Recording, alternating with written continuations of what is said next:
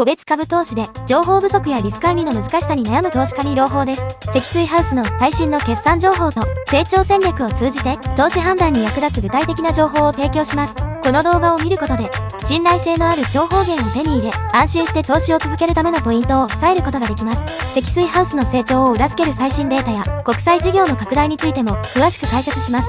これからどんな展開が待っているのか一緒に見ていきましょう。新築からリフォーム都市再開発まで住宅メーカーの大手積水ハウスさて、今日は住宅メーカーの大手、積水ハウスについて話しましょうか。積水ハウスってどんな会社なんですか？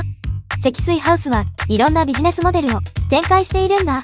例えば、請負型ビジネスモデルでは、戸建て住宅や賃貸事業用建物、それに建築土木の分野で活躍しているんだ。つまり、新しい家を建てたり、大きな建物を作ったりするんですね。ストック型ビジネスモデルでは、賃貸住宅の管理やリフォームも手掛けているんだ。つまり、すでにある建物を管理したり、改装したりしているんだよ。なるほど。管理やリフォームも重要なんですね。そして、開発型ビジネスモデルでは、不動産の仲介やマンションの開発、さらには都市再開発も行っているんだ。つまり、新しいマンションを建てたり、都市を再開発したりするプロジェクトにも関わっているんだよ。さらに、積水ハウスは国際事業も展開していて、海外でも色々なプロジェクトを進めているんだ。そして、それ以外にも、様々な分野で活動しているんだよ。積水ハウスって世界中で家や建物を作っているんですね。積水ハウスは、住宅メーカーとしてだけでなく、総合的な建築不動産のプロフェッショナル集団とも言えるんだよ。投資初心者でもわかる積水ハウスの PER、PBR 配当利回りを簡単解説ところで、積水ハウスの今の状況ってどうなんですか？最新の情報を見てみよう。まず、株価は3505円だよ。次に、積水ハウスの全体の価値を表す時価総額は約2兆3238億円なんだ。他にどんな数字があるんですか？PR は10.9倍、PBR は1.26倍、配当利回りは3.68%だね。えっと、ちょっと難しいです。じゃあ簡単に説明するよ。PR は会社が1年間でどれだけ儲かっているかを表す数字で、株価が利益の何倍になっているかを示しているんだ。だから10.9倍は株価が利益の10.9倍になっているってこと。なるほど。それならわかるかも。次に PBR は会社の持っている財産の価値と株価の関係を示している。1.26倍ってことは株価が財産の1.26倍になっているってことだね。そして配当利回りは株を持っているとどれくらいの配当金がもらえるかを示しているんだ。3.68%は100円分の株を持っていると3円68銭もらえるってこと。配当金がもらえるって、ちょっとお小遣いが増えるみたいですね。そうだね。積水ハウスはしっかりした企業だから注目する価値はあるよ。1年間で28.41%上昇積水ハウスの株価気楽先生、積水ハウスの株価って最近どうなってるんですか？いい質問だね。積水ハウスの株価はこの1年間で28.41%も上がって、現在3505円になっているよ。積水ハウスは安定した経営をしているから、投資家たちが期待して株を買うんだ。その結果、株価が上がるんだよ。売上高9.7%増積水ハウスの未来を見据えた成長戦略と2025年1月期第1四半期の成果さて、今日は積水ハウスの2025年1月期第1四半期の業績について話そうか。積水ハウスの業績ってどうだったんですか？まず、国内の住宅市場は建設コストが増えた影響で新しい家を建てる数が少し減っているんだ。じゃあ、アメリカの状況はどうですか？アメリカでは住宅ローンの金利が高くなっているから新しい家を建てる数の伸びが低迷して中古の家も減っているんだ。でも人口が増えているから家の需要はまだ強いんだよ。なるほど。それに対して、積水ハウスはどう対応しているんですか？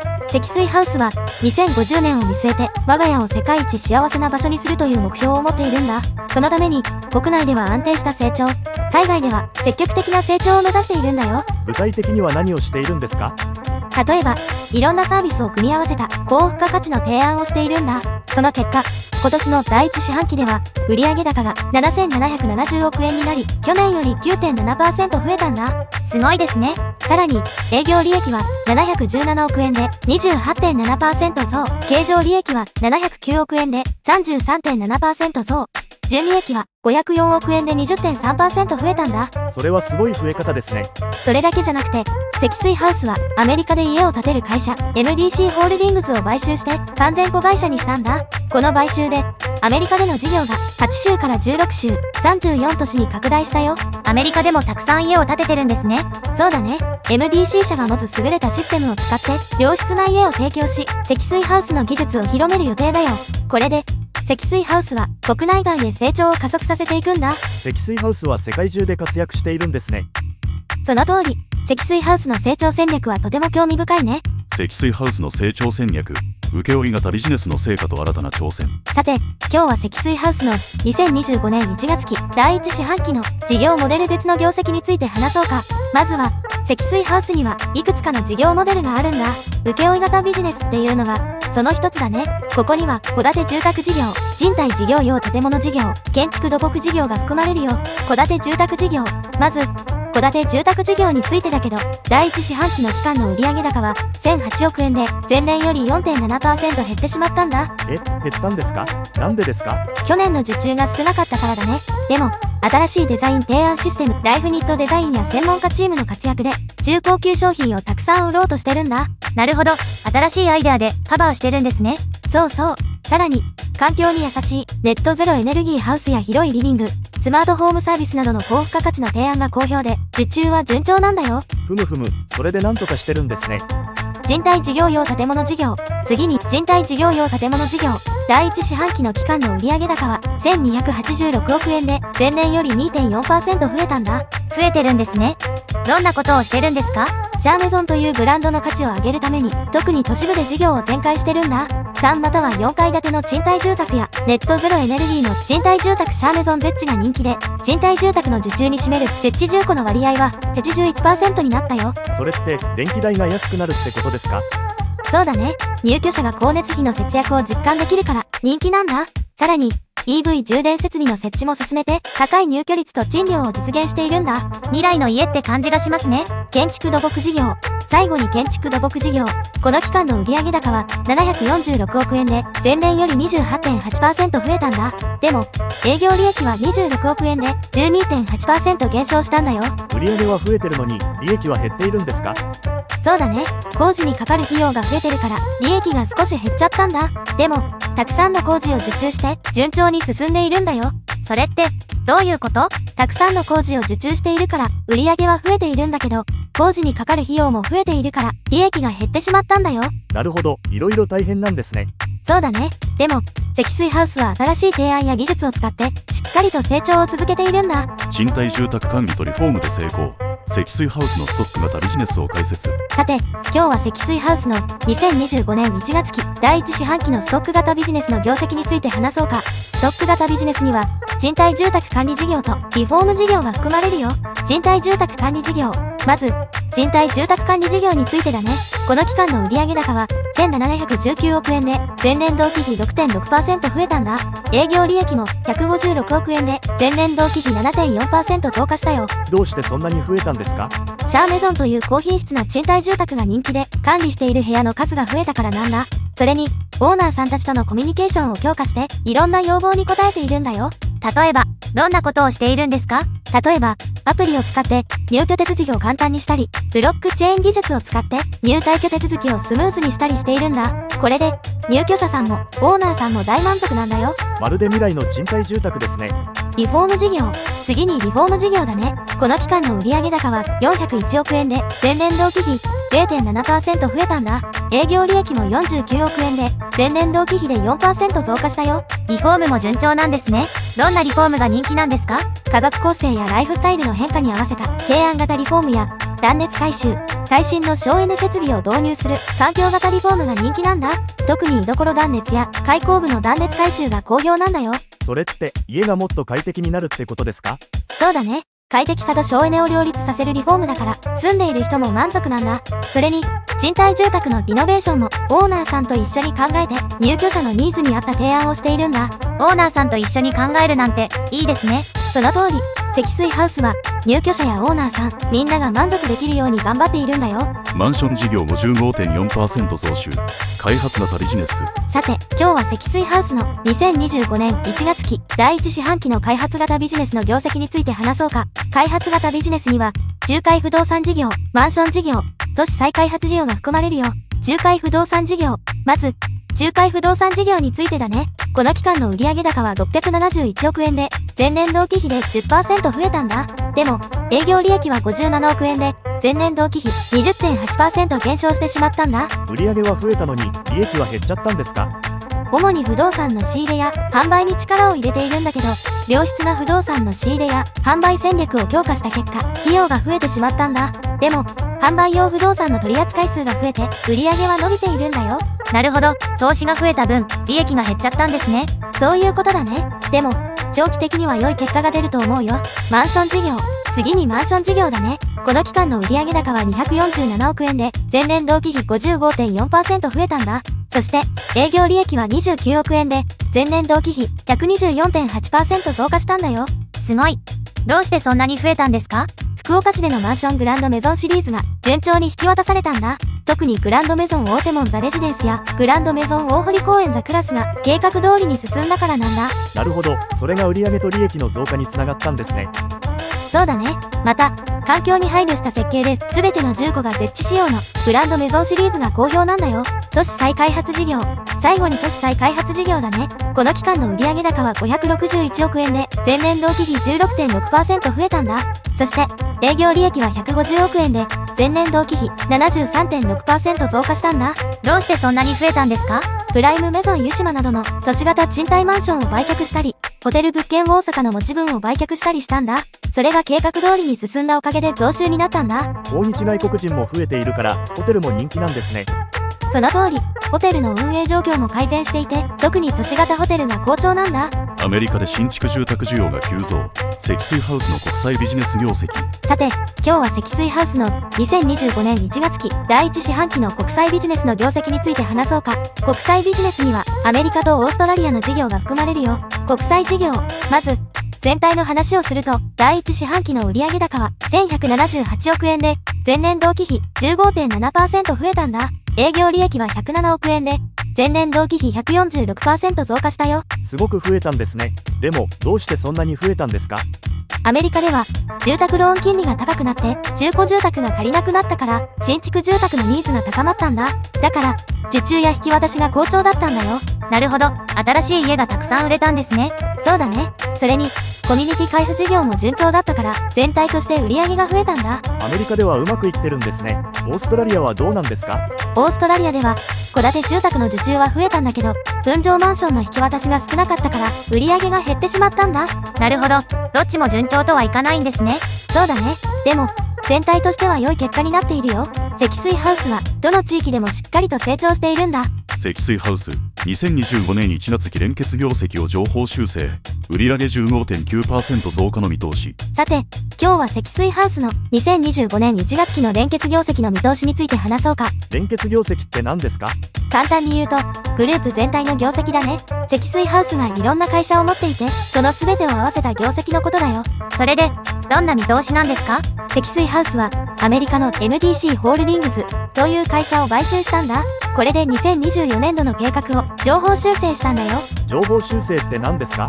もっと良い結果が期待できるから計画を引き上げたということだね。例えば、売上高は33,420億円から38,750億円に増える見込みなんだ。すごい。どれくらい増えるの ?5,330 億円。つまり15.9%増えるんだよ。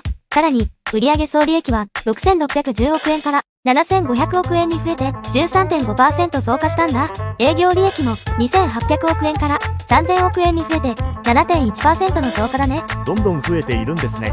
そうだね。経常利益も2620億円から2730億円に増えて4.2%の増加だよ。純利益はどうなんですか？純利益も2030億円から2090億円に増える見込みだよ。これは3%の増加だね。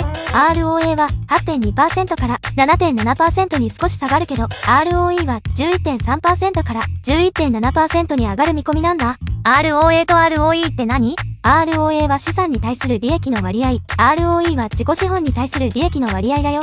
つまり、会社がどれだけ効率よくお金を使っているかを示す指標なんだ。最後に、1株当たりの配当金も125円から129円に増える見込みなんだ。これは4円。つまり3.2%の増加だね。配当金が増えるってことは、お小遣いが増えるみたいなものですか？そうだね。株を持っている人にとっては、もらえるお金が増えるってことだから嬉しいことだよ。積水ハウスは頑張っているんですね。その通り、積水ハウスは国内外でしっかりと成長を続けているんだよ。積水ハウスの事業リスク解説収益に影響するようにさて、今日は積水ハウスの事業リスクについて話そうか。事業リスクって何ですか？事業リスクは、会社の業績に悪影響を与える可能性のある要因のことだよ。積水ハウスにもいくつかのリスクがあるんだ。どんなリスクがあるんですか？積水ハウスは住宅を中心に事業を展開しているから、金利や地価、住宅関連の政策税制の変動に影響を受けやすいんだ。例えばどんなこと？例えば、金利が上がると住宅ローンの返済が大変になって家を買う人が減るかもしれないよね。それが積水ハウスの収益に影響を与えるんだ。なるほど金利が上がると家を買う人が減るんですねそうだね。さらに、地価が急に上がったり、住宅に関する政策や税制が変わったりすると、個人消費が変動して、それも収益に影響を与えるんだ。地価が上がるとどうなるの？地価が上がると、家を建てるための土地の値段も上がるから、家の値段も高くなってしまう。それで家を買う人が減るかもしれないんだ。じゃあ他にはどんなリスクがあるんですか？国内外の景気が悪化したり、不動産価格が極端に高騰したり、日銀が金融政策を引き締めに転じたりすることもリスクになるんだ。景気が悪化するとどうなるの？景気が悪くなると、人々が家を買う余裕がなくなるから、家を建てる会社の業績も悪くなるんだ。不動産価格が高騰するのも困るんですよねそうだね。そして、日銀が金融政策を引き締めると、金利が上がるから家を買う人が減るかもしれない。これも積水ハウスにとってはリスクなんだ。積水ハウスも色々なリスクに注意しないといけないんですね。その通り。だから、積水ハウスは常に市場の動向を見ながら、リスクを管理しているんだよ。積水ハウスの EPS と成長率を解説波を乗り越えて成長 EPS とは、アーニングズパーシェアの略で、1株当たり、純利益とも言われます。EPS からわかることは、企業の収益力と成長性の2つです。数値が高いほど、企業の収益力は高いと見ることができます。また、同じ企業の当期 EPS と前期以前の EPS を比較することで、企業が順調に成長しているか判断することもできます。さて、今日は積水ハウスの EPS と成長率について話そうか。まず、2023年度第3四半期の EPS は226円で、成長率は前年同期比で31.7%増えたんだ。すごい増え方ですね。次に、2023年度第4四半期の EPS は279円で、成長率は22.2%増加したよ。でも、2024年度第1四半期では EPS が63円で、成長率はマイナス26.2%と減少してしまったんだ。どうして減っちゃったの？これは季節的な要因や一時的な費用が影響しているからだよ。でも、次の2024年度第2四半期では EPS が142円で、成長率はマイナス9%と少し回復してきたんだ。なるほど少しずつ戻ってきたんですねそうだね。そして、2024年度第3四半期の EPS は219円で、成長率はマイナス3.2%と、さらに改善したんだ。どんどん良くなってきてる。その通り、2024年度第4四半期では EPS が312円で、成長率は12.1%と、再び増加したんだ。最後はまた増えたんですねそして、2025年度第1四半期では EPS が78円で、成長率は22.9%増加したんだよ。というわけで、積水ハウスの EPS と成長率は波があるけど、全体としてはしっかりと成長しているんだ。売上高の成長が続く積水ハウスさて、今日は積水ハウスの四半期ごとの売上高と、その成長率について話そうか。売上高って会社がどれだけお金を稼いだかを示す数字ですよね。その通り。そして、成長率は前年同期比でどれだけ増えたか、または減ったかを示しているんだ。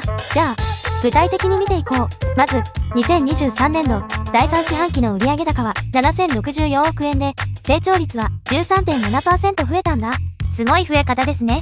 次に、2023年度第4四半期の売上高は7987億円で、成長率は7.2%増加したよ。順調に増えてるんですねでも、2024年の第1四半期では、売上高が7083億円で、成長率はマイナス4.8%と減少してしまったんだ。でも、次の2024年度第2四半期では、売上高が7542億円で、成長率は10.9%と再び増加したんだ。なるほど少しずつ戻ってきたんですねそうだね。そして、2024年度第3四半期の売上高は7271億円で、成長率は2.9%増加したんだ。2024年度第4四半期では売上高が9177億円で、成長率は14.9%と再び大きく増えたんだ。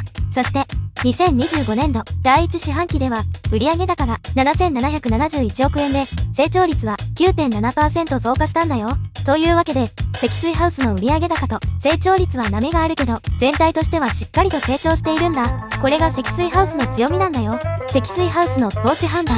それでは、積水ハウスの投資判断を解説したいと思いますが、続きの内容については、YouTube のメンバーシップの限定動画か、ノートの有料記事となります。YouTube のメンバーシップに加入するか、ノートのメンバーシップに加入していただくことで、確認することができます。ノートのメンバーシップは、初月無料ですので、月末までに退会すれば、ご負担0円で、お試しすることができます。